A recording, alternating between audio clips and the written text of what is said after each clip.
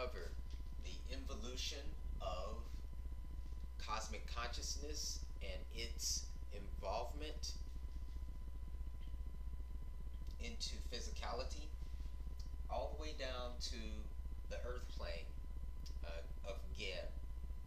And what we want to do today is bring us bring ourselves for, forward uh, so that we can see how to raise the Jed.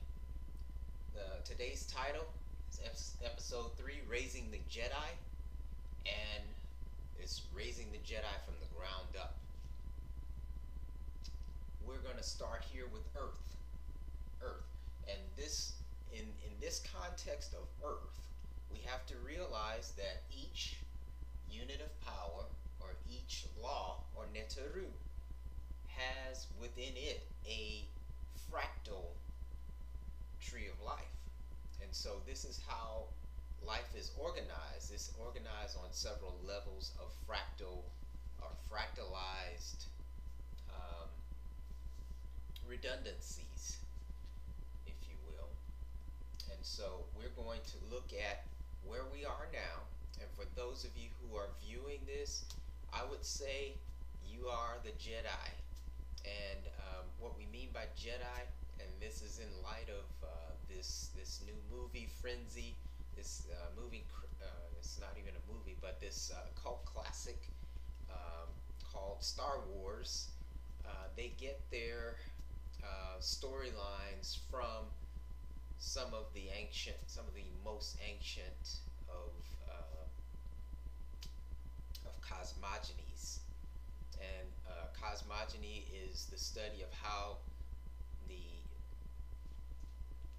creation of is the creation of universe you know just like here is the involution or involvement of cosmic consciousness into physicality and then springboarding off of the earth plane our psyche and merging it back with or merging it into return, you know, returning it to the pristine state of cosmic So we're wanting to start here at Geb, use that as the springboard, and what Geb is all about. Okay, we're going to go to the Geb of Geb. See, this this whole thing is representing Earth. This is our context for today. And so we're going to start down with the Geb of the Geb, and uh, we're going to move up the tree, and we're going to we're going to pause, and this is going to be part one. We're going to pause at Heru, and and Heru is the king. Okay, so but we want to make sure that we're always on that central pillar and pulling everything center so that we can remember our original state. Okay, so we'll start here. I want to bring everybody in with a few scriptures or with a couple scriptures that kind of gives everybody uh, an even uh, footing because most of us do come from a Christian background, or if we don't, we know somebody who does, and we've heard the scriptures some in some shape, form, or fashion. And so when we look at uh, the JED and what it's all about, the JED is about stability. It's about being upright. It's being. It's about amplification of energy, um, and this has to do with the emotional body. This has to do also with the amplification of current or currency. Okay, and th- this current actually moves you. It moves a lot of things, and this is this is what allows money to move people because money is a representation of your quantity or your quanta of, of uh, currency or of current. And so we want to be able to utilize this level, the law from the law of the earth, which involves all of its resources. uh, it involves all of its uh, all of its laws of health. Okay, and so we, we know that it has the same amount of uh, same amount of laws here here as it does here. Okay, and so we are, we're going to walk up tree of Geb and find out all of the things that we need to be aware of in the organization of our physiology and the gathering of the material resources that we need to move into it. Okay, there'll be another time where we'll be able to get into some of the actual footwork, the groundwork that we need to do, and those can be in the form of workshops. So, if you want to give me a uh, give me an email, can set up something so that we can actually walk through that and be able to actually raise the Jed. So here we go, scripture, a little scripture going on. We we want to before we do that, we want to look at uh, the the word testament Okay, we have we know that people who are are into the Bible, they read the New and the Old Testament, and these uh, the esoterics behind it or the inner truths that are involved with the esoteric teachings are are about the the testa or the object made from burnt clay Let's see, we, we look at the etymology of the word testa and then the, the etymology of the word mint.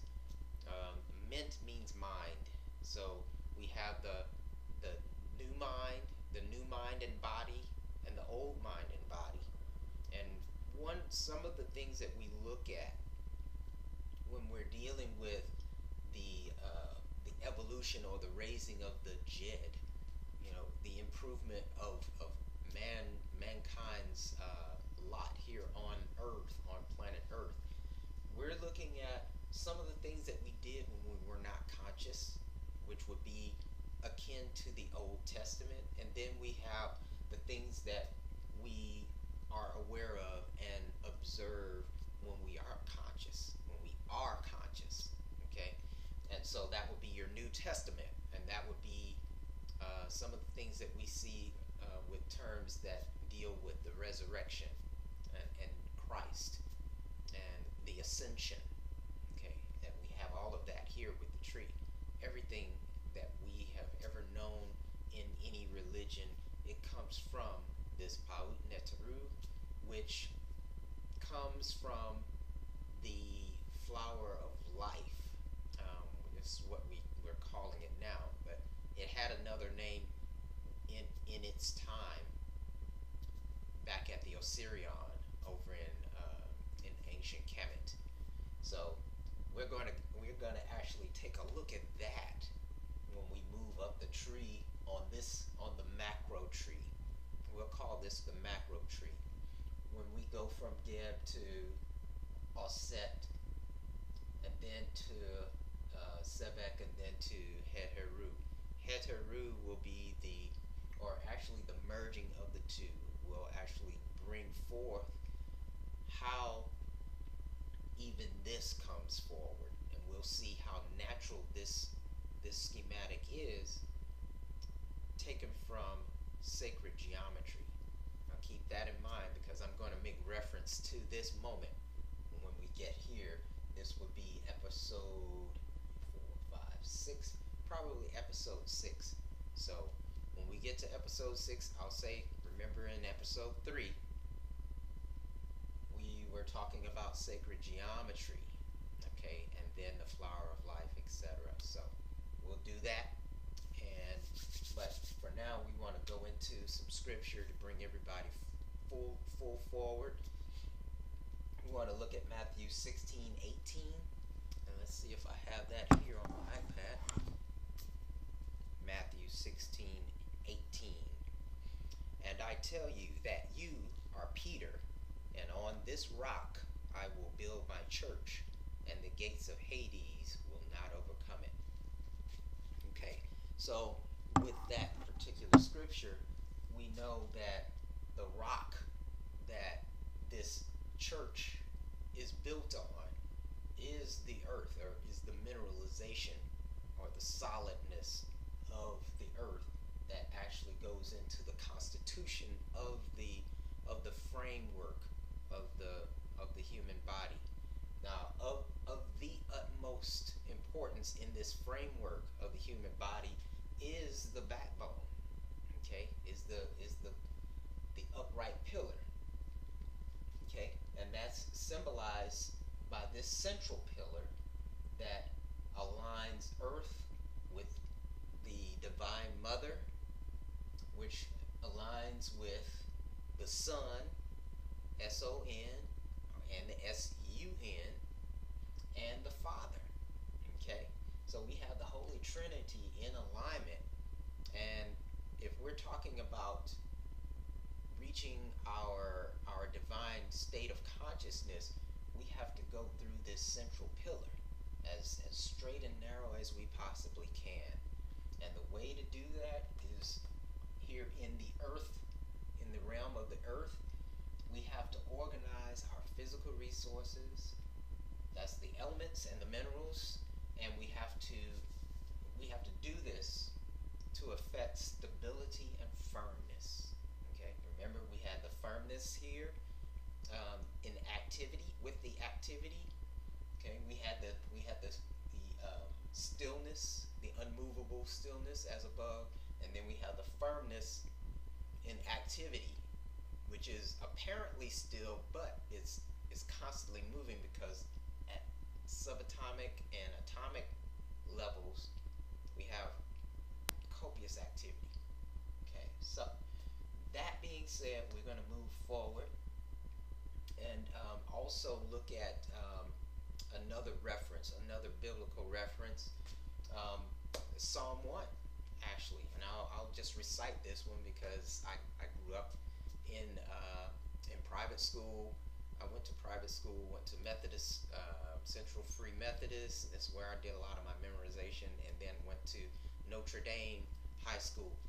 And so um, Psalm 1 says, Blessed is the man that walketh not in the counsel of the ungodly, nor standeth in the way of sinners, nor sits in the seat of the scornful. But his delight is in the law of the Lord, and in this law doth he meditate day and night, and he shall be like a tree planted by the rivers of waters that bringeth forth its fruit in its season. His leaf also shall not wither, and whatever he doeth shall prosper. The ungodly are not so, but are like the chaff which the wind driveth away. Okay, with all of these, with all of these um, ideas that go into Scripture, we can see all of these things going on here right now, because here at the earth level of Geb, we see the equidistant cross that that represents a plethora of things. Okay, this equidistant cross actually has has inherent in it um, something that we use all the time. Okay, speaking of time, here we are, and we can see what time it is right now. But um, anyway, the time um, is or the the this particular um, clock face is representative of several things. We have we have seasons that you know where you have your four seasons divided up, and in those four seasons you have um, you have twelve months.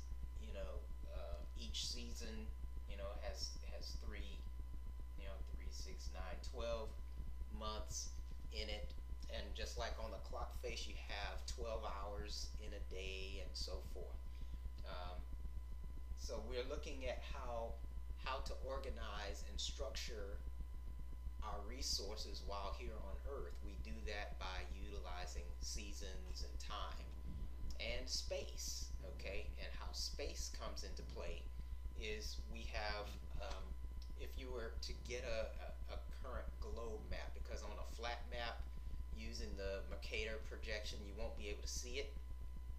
But if you look on your globe, on the very top, the North Pole, you'll you'll probably see the uh, the cross, and on that cross you'll see degrees, and you'll see them in minutes.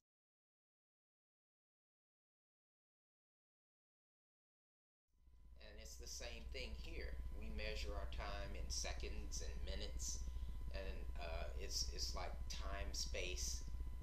This is how we organize things here. So using that, we can we can definitely uh, utilize the ways of the the the earth, uh, the earth measure, to be able to find our resources and gather those resources to perfect the temple, to perfect the church, um, and to build or to erect the Jed. Now, what is the Jed? The Jed is uh, known as the backbone of Osir. And when we look at it, look at our physiology, our physiologic anatomy, we have a structure that allows us to be erect and upright. And what this allows for is the proper conductivity of current through our bodies. Okay, anybody who is is slumped over or has bad posture, you know, leaning to the left or leaning to the right creates pain, especially if you're carrying a child. Those of those of you who have carried little ones in your in your time of raising children, you know that that that back can oh man, that's some painful stuff. But let's just say you lived a life that was upright, you wouldn't have anything, uh, any uh, impedance of um, of conductivity, of electrical impulse to be able to allow you to function. You wouldn't have that impedance, and so you wouldn't have pain. All right. So when when we have uh, something that's upright, that's representing us as uh, that serves as a representative of straight conduct, you know, co- high conductivity, uh, moral uprightness. That's what the Jed is about. And you need material create the firmness and stability that the Jed will provide. And this is why health is so important. Getting your minerals, getting your, your nutrition, getting your water, okay? And when you get these things, see, the water is the next thing up, okay?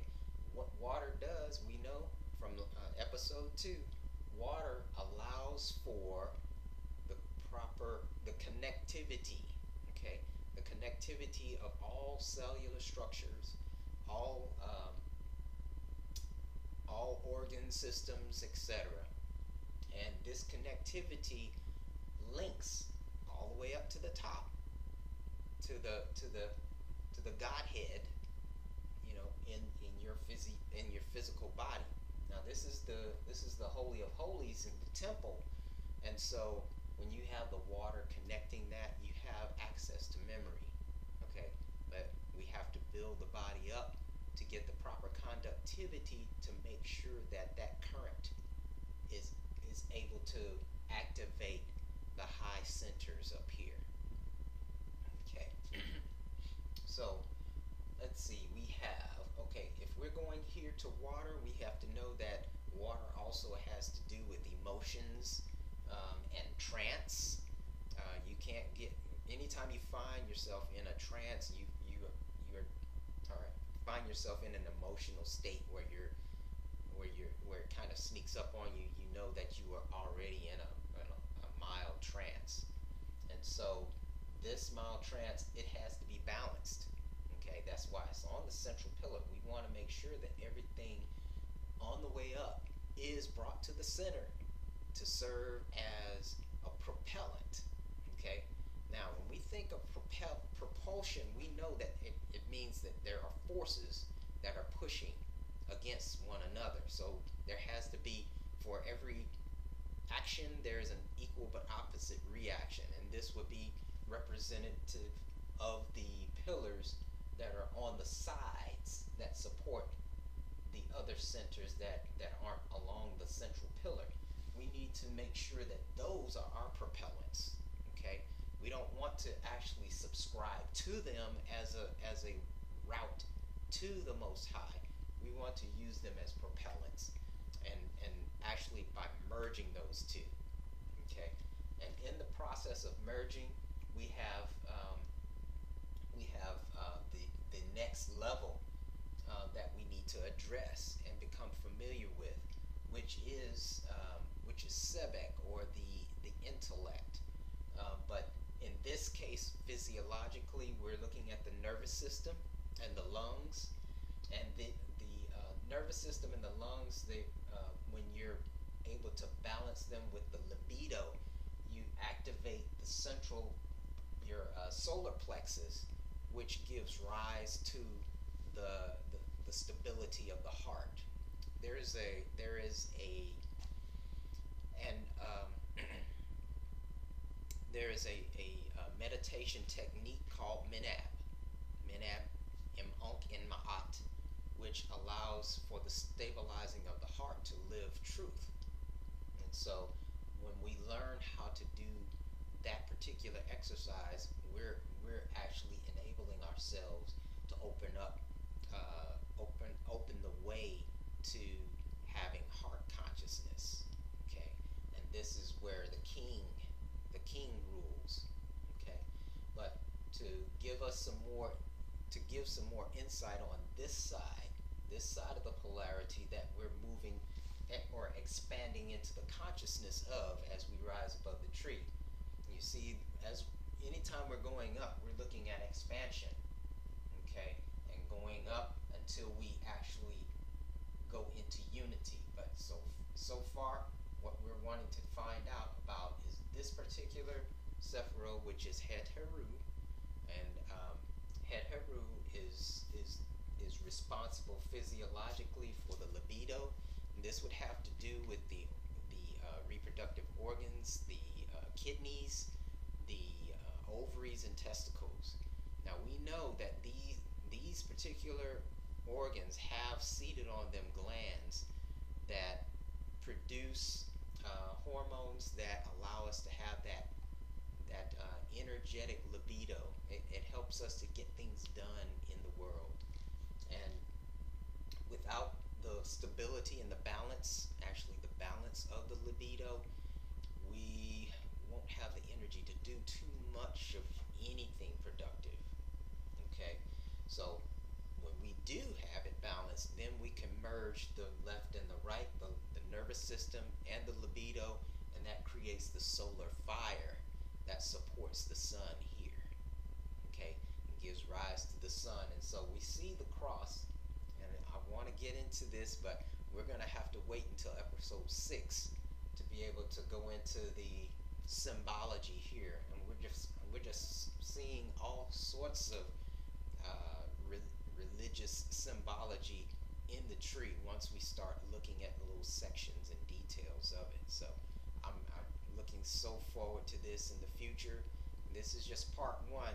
We're going to move further up the tree and we're going to start, we're going to pick up again here at the sun and we're going to raise the Jed all the way up until we ignite the cosmic consciousness and finally be able to identify with our source estate, the cosmic consciousness itself, the perfect black. All right, thanks for viewing, and I look forward to having part two of episode three, Raising the Jedi. Thanks for